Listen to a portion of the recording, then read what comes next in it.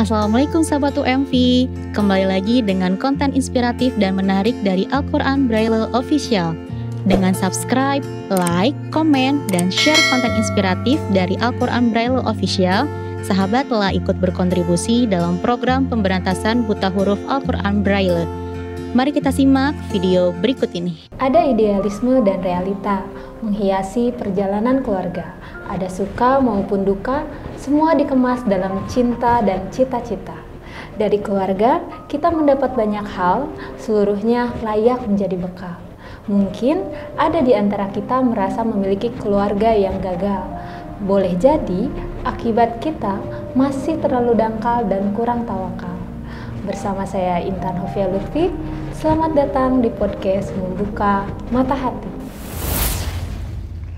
Di episode kali ini nih, saya langsung ditemani sudah tidak asing lagi ya di mata sahabat, tapi beliau itu adalah seorang CEO dari lembaga sosial yang memang uh, sudah banyak sekali gitu memberikan manfaat gitu di situ.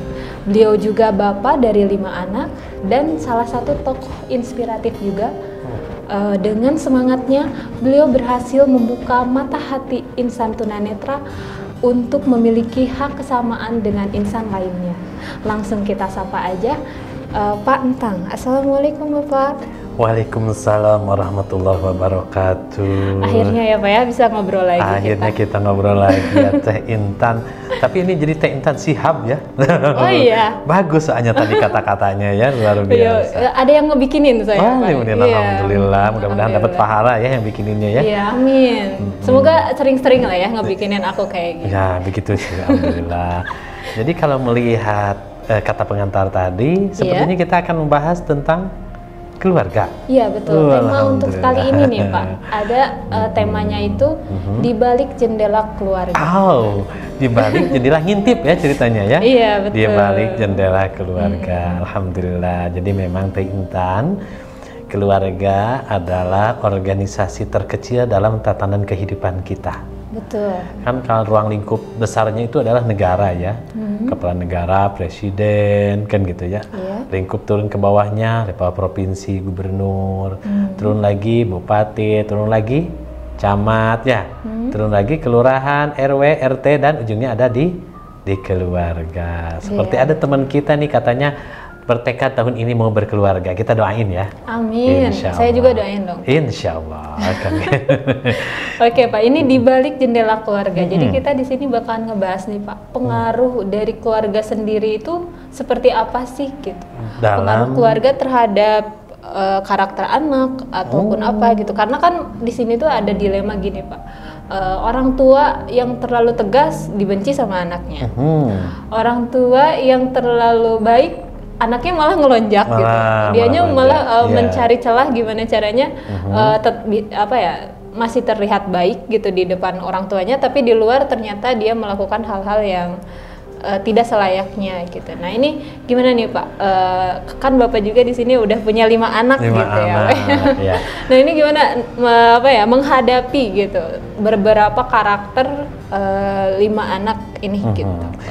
Baik, Tintan. Pertama tadi kalau kita terlalu keras sama anak, anak tuh bisa down ya, hmm. ngambek, benci sama orang tua. Tapi kalau kita terlalu memanjakan, anak menjadi ngelunjak. Yeah. Berarti di sini diberlakukan yang disebut dengan azas proporsional.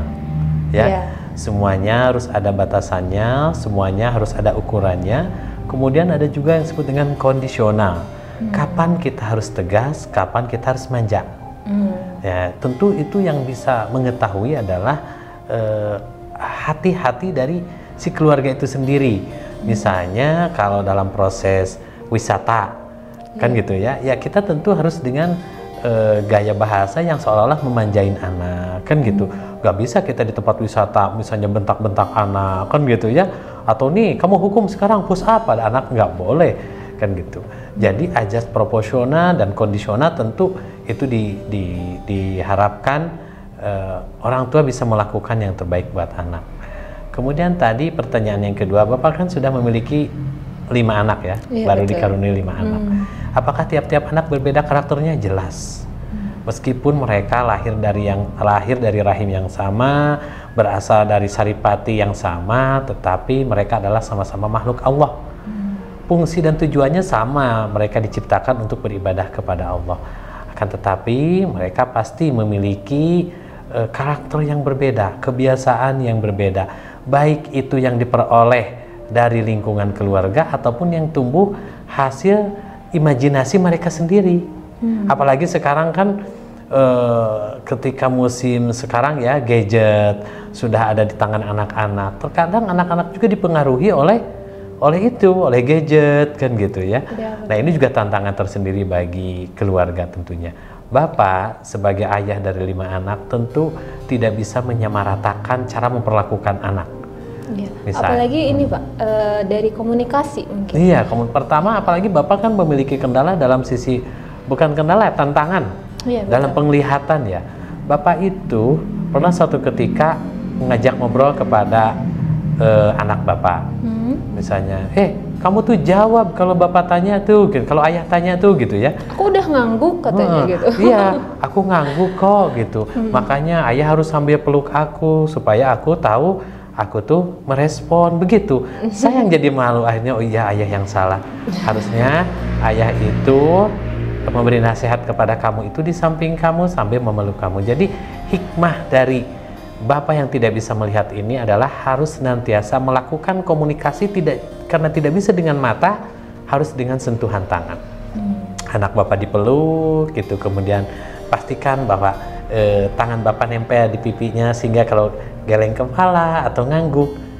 Nah, karena kadang-kadang apa ya berat seseorang itu berat untuk sekedar mengatakan iya atau tidak aja berat, ya kan? Hmm. Mungkin ada dulu dialami oleh Tesepti katanya ketika ada seseorang yang mengajak untuk taaruf dia nggak bisa jawab dia cuma ngangguk doang kan gitu ya ini cerita cerita iya. kan gitu kalau uh, sama tunanetra berarti nggak kelihatan nah nggak ya? kelihatan apa ini tuh jawabannya jawabannya makanya ya uh, kalau yang muhrim ya tentu bisa sambil dipeluk kan gitu terus dulu pantang gimana deh nyatainnya ya cerita aja dijawab aja ya misalnya uh, waktu itu ya kecalan hmm. istri ya hmm. Uh, teh. Nah teteh sih selanjutnya. Hmm. insya Allah saya mau berniat berumah tangga sama teteh. Misalkan kan gitu ya. Hmm. terus hmm, yakin. Cina gitu ah. Dengan yakin aja berarti udah nerima. Insya Allah ya jalani aja. Cina gitu. Alhamdulillah udah dijalani. Udah 16 tahun nih. Dikaruniai 16 apa? 16 anak. 6 apa? 5 anak gitu ya. Hmm. ini luar biasa. Memang ada kendala bagi saya dan istri untuk melakukan komunikasi secara tatapan mata, tapi insya Allah kalau semuanya bersumber dari hati, insya Allah semuanya dapat dilalui. Lima anak tentu harus memiliki gaya komunikasi yang berbeda. Hmm. Tidak bisa juga kita menyamaratakan kesenangan anak yang satu dengan yang lain. Iya betul. Anak bapak misalnya dia suka bola, hmm. ya nggak bisa dipaksakan dong. Yang adik-adiknya yang perempuan untuk suka bola kan iya, gitu. Iya betul gitu Teh Intan Ya nih karakter ya karakter anak mungkin hmm, tadi. Karakter, Di ya? dari lima itu ada yang paling pendiam nggak pak? Ah, bapaknya kayaknya yang paling pendiam. Oh masa? Aduh kayaknya aku kurang percaya gitu. Jadi memang yang pertama anak laki-laki itu dia uh, suka uh, seperti bagaimana anak laki-laki lainnya hmm, olahraga, cool gitu ya, ya bola gitu ya. Kemudian yang kedua, yang perempuan itu dia sukanya baca kan gitu. Nah, yang ketiga dan keempat kebetulan ini kembar. Hmm. Kembar itu memang suka baca tapi lebih banyak pendiam. Hmm. Bahkan kemarin itu gurunya mengatakan, "Pak, ini anak Bapak yang satu itu kalau misalnya siapa yang bisa menjawab bla bla bla bla gitu. Anak Bapak mah nggak jawab, tapi kalau ditanya itu benar jawabannya." Jadi saya punya anak yang kalau oleh gurunya siapa yang tahu jawabannya ini kan kalau yang lain saya saya yeah. gitu kan. Nah kalau anak saya nggak begitu diam aja. Akhirnya ketika ditanya oleh oleh gurunya tapi jawab dan dengan, dengan benar jawabannya. Nah yang satu lagi meskipun kembar, yang satu dia aktif, aktif menulis, kemudian aktif juga membaca dan aktif menjawab. Nah yang satu lagi nih yang kecil nih baru lima tahun dia masih seneng-senengnya bernyanyi dan mendengarkan cerita-cerita. Mm-hmm. Cerita-cerita. Jadi kalau pasti tidaklah dia tidur kecuali mendengarkan cerita-cerita. begitu jadi nah itu kan kebiasaan hmm. kita amati gitu kira-kira orang tuanya bisa mendukung anak di sisi mana sih ya tentu kalau yang dasarnya semua yang wajibnya yang penting satu baca Quran ya sholat lima waktu gitu ya menjalankan syariat Islam ya karena alhamdulillah Allah mengaruniakan Islam kepada bapak dan keluarga. Jadi bapak harus menjunjung tinggi syariat Islam baik bapak ibu dan kelima anak. Nah di samping itu ada potensi-potensi yang lain yang harus bapak bapak kembangkan uh, seiring dengan kemampuan mereka. Kalau mereka suka nyanyi ya kita beliin lah semacam pianika, flute gitu. Bahkan tak jarang main gitar kalau mereka suka baca ya kalau jalan-jalan kita ke toko buku kayak disebutin ya toko bukunya ya. Iya jangan. Nah, kalau sponsor. Mm -mm, ada juga yang anak bapak yang suka olahraga ya kita support dibeliin bola kan gitu ya dibeliin hmm. bajunya kan gitu. Jadi itu mencoba sebagai orang tua menunjang menunjang karakter anak. Lepas dari semua itu tetap ujung-ujungnya adalah bagaimana Bapak punya harapan agar anak Bapak itu bisa menjadi anak yang soleh dan soleha seperti Teh Intan ini insya Allah. Insya Allah Pak. Jadi mudah-mudahan Teh Intan juga ya segera ya Insya amin, Allah. Amin. Gitu.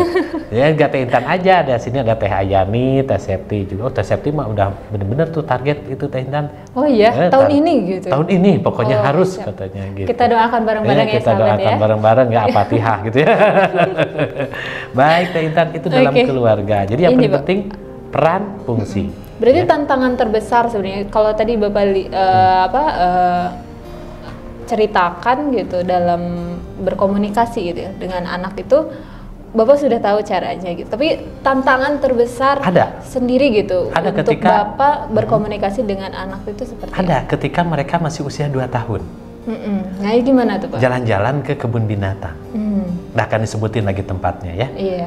Nah, karena karena mm, kebun binatang tersebut belum jadi sponsor. Mm. Nah, jadi diajak jalan-jalan ke kebun binatang. Mm. Kemudian dia nanya, ayah itu apa? Nah, ayah gimana itu tuh, apa? Ya itu masalahnya. Aduh, dia lihat apa ya? Hmm. Kan kalau saya nerang salah entar, ya kan? Ayah kok itu ya kan itu yang yang komunikasi terberat hmm. dalam dalam mendidik anak terutama dalam masalah sosialisasi pengenalan baik satwa atau apa. Iya kan, dan di hmm. dalam keterangan kan suka ada tulisan tuh pak ya setiap ya. setiap.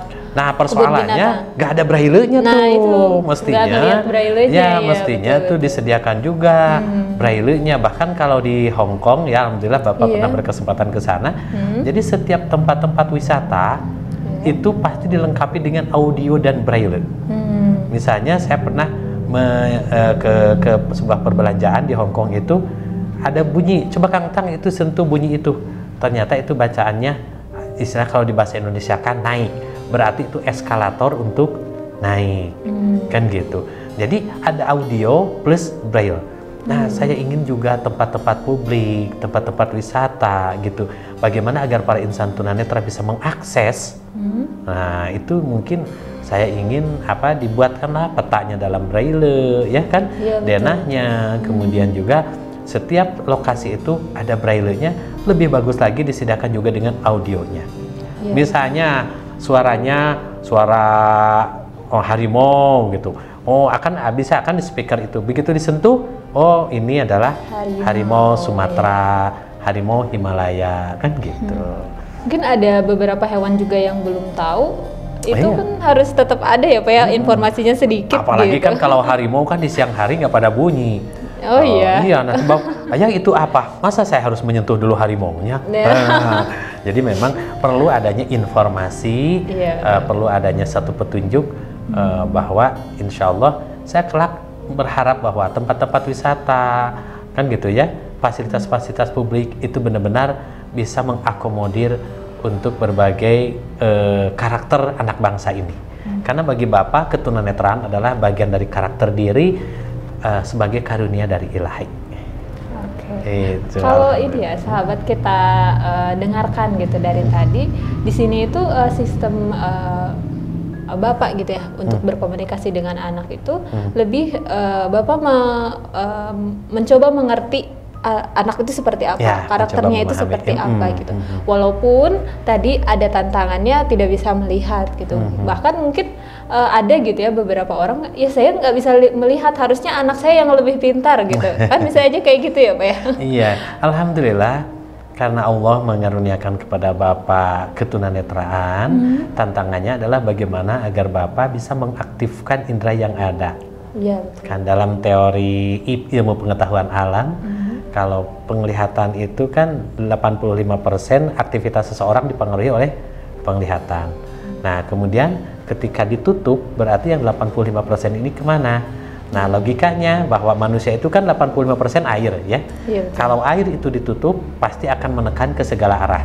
Nah, ketika penglihatan ditutup, mudah-mudahan bisa mengaktifkan pendengaran, perabaan, naluri sehingga uh, benar-benar uh, bisa memberikan pelayanan yang terbaik baik buat istri maupun anak juga buat seluruh keluarga besar UMV kan gitu kan. Baik. kan saya sering bilang ya hmm. ih Teh Intan cantik banget hari ini kan gitu ya yeah. Iya. uh, senyumnya enak banget apalagi kalau di tanggal 28 ya kan gitu iya ah, betul Pak itu itu pasti itu pun sudah fakta sudah gitu. fakta kan gitu jadi memang Bapak harus bisa mencoba mengaktifkan naruri Bapak membaca karakter. Ini kan di kita ada 10 orang ya. Yeah. berarti kan harus uh, satu persatu harus dipahami. Hmm. memahami teh Intan memahami teh Yuni memahami teh Septi memahami teh Ayani teh Wiwin kan gitu ya.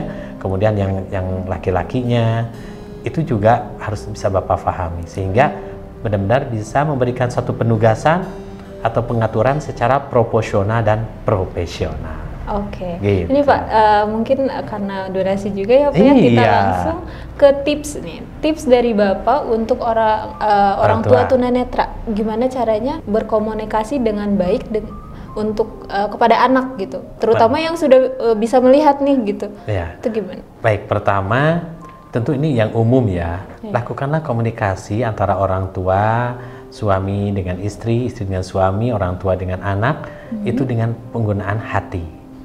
Kita dikasih tangan baik yang kanan maupun yang kiri. Hmm. ya dikasih juga pergelangan. Kita punya pelukan. Peluklah anak kita peluklah pasangan kita ketika kita hendak melakukan sebuah komunikasi. Hmm. agar apa? Agar yang dimaksud dapat tercapai. Makanya ikatkanlah cita-cita itu dengan cinta. Jadi eh, rukun cinta itu kan ada lima ya yeah. satu statement katakanlah hmm. sayang ya itu kan kata-kata cinta yang ya. kedua adalah sentuhan ya. ya yang ketiga adalah uh, eh, satu statement uh, dua sentuhan tiga suasana mm-hmm. empat hadiah ya. lima selalu ingin melayani itu lima bahasa cinta yang ya, bisa kita tantip dalam keluarga jadi ada lima tip untuk menyampaikan cinta kita pada keluarga satu sentuhan. Ya, dicatat ya, sahabat, dicatat. Ya. Dua statement, tiga suasana, hmm. Hmm. empat hadiah, lima okay. selalu ingin melayani, insya Allah. Oke, okay, udah ada tipsnya, udah ada ceritanya. Nah, kita tinggal apa ya coba? Tinggal apa, tinggal likes, subscribe dan komen. Nah, itu pastinya ya. Dan jangan lupa tekan tombol Loncengnya, notifikasinya ya, ya betul. supaya senantiasa mendapatkan update-update terbaru dari Al-Qur'an Braille Official. Terima kasih Teh Intan. Sama-sama Bapak. Ya, uh, sahabat, semoga kita bertemu lagi di podcast selanjutnya. Assalamualaikum warahmatullahi wabarakatuh. Waalaikumsalam warahmatullahi wabarakatuh.